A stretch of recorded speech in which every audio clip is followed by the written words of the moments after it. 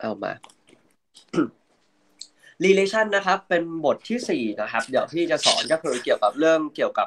ความสัมพันธ์โดเมนเลนจริงๆอะมันเป็นบทอะคือพี่แยกบทออกมาต่างหากมันจริงๆมันรวมอยู่ในเรื่องของฟังก์ชันนั่นเองนะครับโอเค แต่อย่างแรกก่อนอันดับนะครับ ทั้งหมดจะมีอยู่ 6 หัวข้อด้วยกันโดยหัวข้อหลักๆ นะ หัวข้อหลักๆ ที่พี่ออกก็คือดอกจันข้อ4กับข้อ 5 ไว้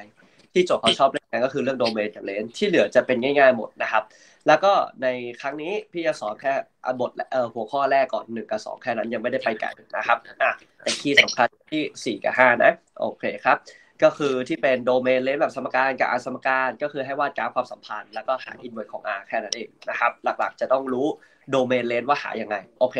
ถ้าพร้อมแล้วเริ่มครับ อันแรกก่อนความสัมพันธ์คำว่าความสัมพันธ์ relation น่ะ ตัวด้านหน้ามันจะมีชื่อคำว่าชื่อโดเมนกับเลนโดเมนคือ d ห้อย r เลนคือ r ห้อย r โดยโดเมนก็คือค่า x เลนคือค่า y ก็คือคู่ดับ x y นั่นเอง x คือตัวหน้า y คือตัวด้านหลังนะครับ โดเมนเลนอะรอ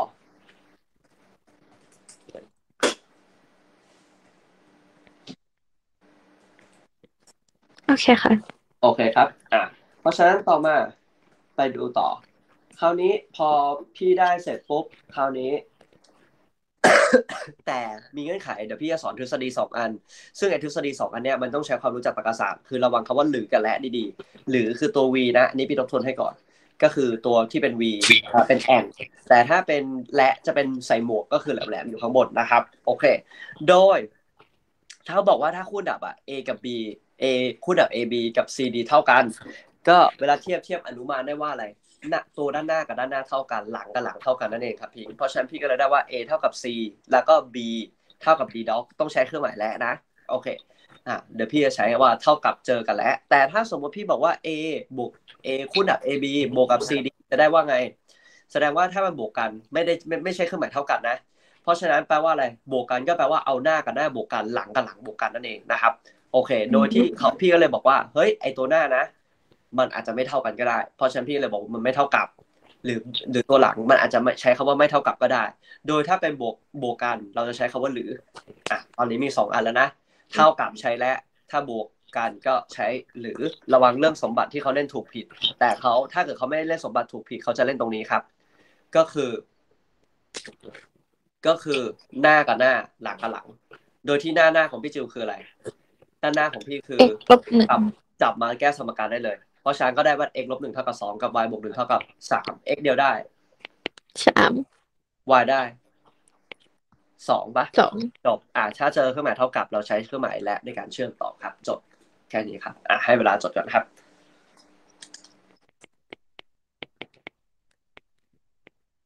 โอเคค่ะ โอเค ไปต่อครับ ต่อมา เสร็จแล้วเรียบร้อยข้อต่อมาครับ พี่จิวต่อมาหน้าเหมือนเดิมครับ หน้ากับหน้าหลังกับหลังเหมือนเดิมครับ แต่นี่ไม่เท่ากับนะ ไม่เท่ากับเราใช้เป็นหรือ x ลบหนึ่งไม่เท่ากับห้ากับ x บวกเออ y บวกกับ y บวกสองไม่เท่ากับสาสามมแล้วพี่ก็คิดต่อ x ไม่เท่ากับหก y ไม่เท่ากับหนึ่งโอเค จบแค่นี้เราจะใช้หรือนะครับ เพราะฉะนั้นพี่ก็เลยบอกว่า เท่ากับใช้และ ไม่เท่ากับใช้หรือ โอเค อะรอ โอเคค่ะ เสร็จแล้วไปดูต่อครับ ข้อต่อมาเอ่อหลังจากนี้พอพิงได้ละกลับมาดู ตัวอย่างโจทย์ครับ ข้อที่หนึ่งครับทำเองได้เลยบอฟอเทียบเลยลูกอันนี้พี่เทียบไม่ได้ว่ะ x ยังไม่ได้ก็ติดสมการหนึ่งสมการสองก่อนอะรอ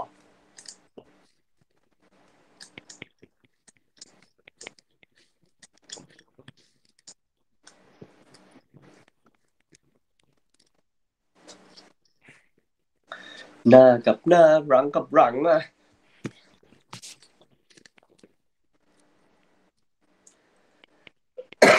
โอ้ย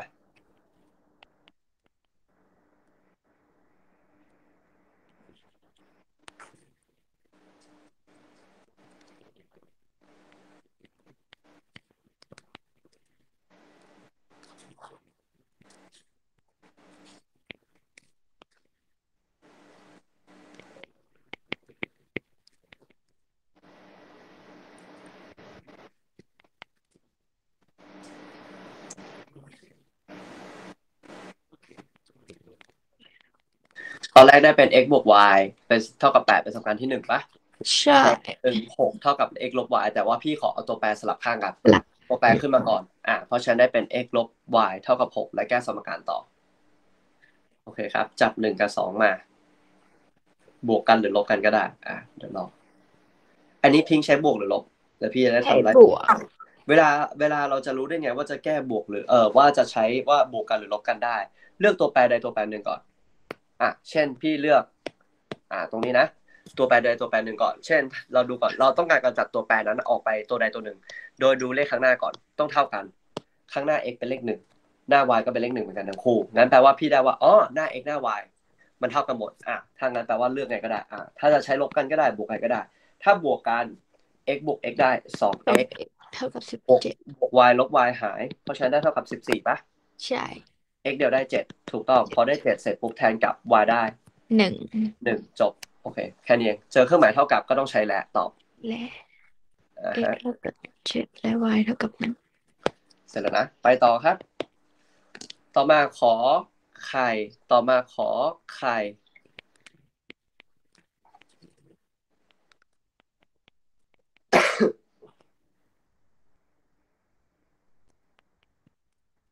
เจอไม่เท่ากับ ก็คือหน้ากับหน้าเท่ากันหลังกับหลังเท่ากันนะครับ x ไม่เท่ากับบวกลบสี่ y ไม่อืมหรือ y ไม่เท่ากับลบสามเออหรือนะอ่ากำลังคู่อย่าลืมอะไรนะบวกบวกลบด้วยอ่ากำลังสองนะกำลังสองสี่หกแปดอย่าลืมนะต้องใส่บวกลบด้วยนะครับ เพราะฉะนั้นก็เลยได้ละ บวกลบสี่กับลบลสาบมสามโอเค เรียบร้อยแล้วนะ ต่อมาไปดูต่อครับ ถัดมาอ่าเราเราได้เรียบร้อยแล้ว ข้อต่อมาครับอ่าอันนี้กำลังคู่อย่าลืมจดเพิ่มเติมไว้ด้วยก็ได้ ถ้ากำลังขี้คือตอบอย่างใดอย่างหนึ่งนะครับ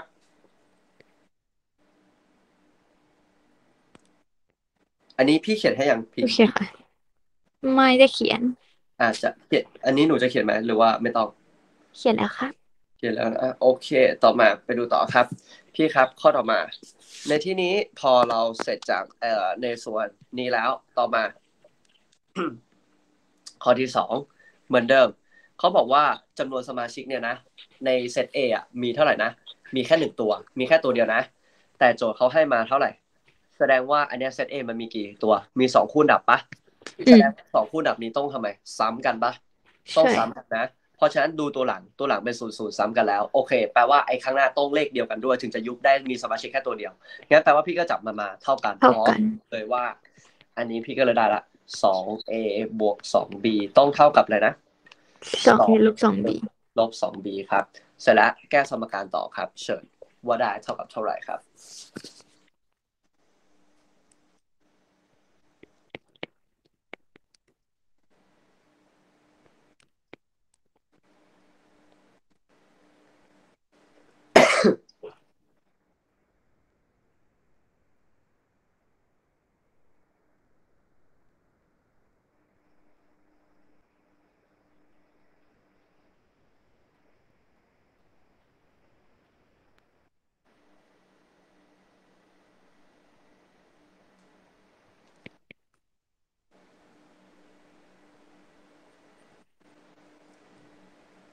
b เท่ากับศูนย์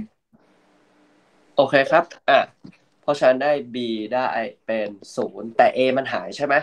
การที่ a หายแปลว่า a เป็นอะไรก็ได้ แปลว่า a เป็นอะไรก็ได้เขาเรียกว่าตอบ r เป็นจำนวนจริงใดๆนั่นเองนะครับขอไข่แต่ว่าข้อนี้พี่ก็เลยตอบว่า ตอบข้อของไข่ถูกต้อง ถ้าตัวแปรหายแปลว่าเป็นเลขอะไรก็ได้นะครับ ครับ โอเคครับ อะ เพราะฉะนั้นได้ละ ไปต่อครับ ข้อที่สามถามว่าข้อใดต่อไปนี้ถูกผิดครับ ข้อสุดท้าย มันจะพยายามจับผิดเรานะลองแกะดูดีๆ ถามข้อย่อยนะ ถามแต่ละข้อย่อยนะ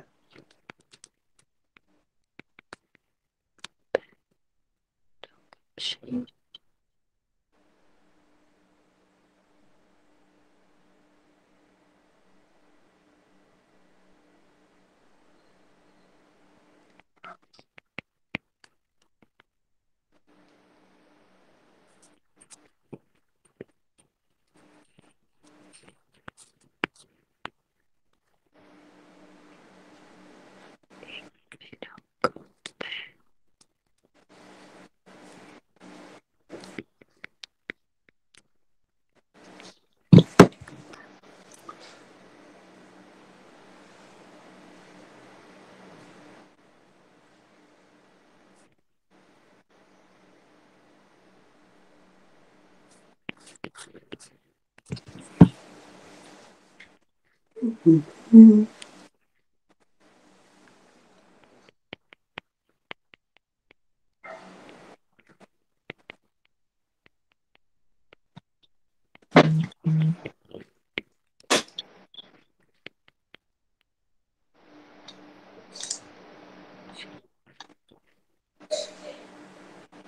จจริงเท็จ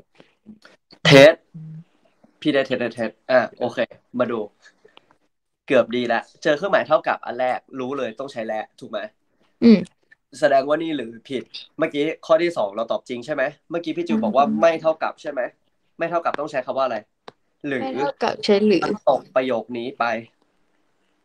มันอ๋อตกคือต้องมีทั้งคู่เลยใช่ไหมต้องมี เพราะว่าถ้ามันเขียนแค่เนี้ยแปลว่าแปลว่าอันนี้ต้องเป็นจริงเท่านั้น แต่ถ้ามันมีคำว่าหรือต่อหลังแปลว่าอย่างใดอย่างหนึ่ง มันเลยผิดอ่าฮะ และสุดท้าย ไม่เท่ากับ ไม่เท่ากับต้องใช้หรือห้ามใช้แล้วแต่ตัวเลขอะ ส่วนใหญ่มันจะตรงกันหมดอยู่แล้วแหละโอโอเคเคค่ะนะครับอะจบเรียบร้อย อันนี้รีเช็คเฉยๆโอเคครับ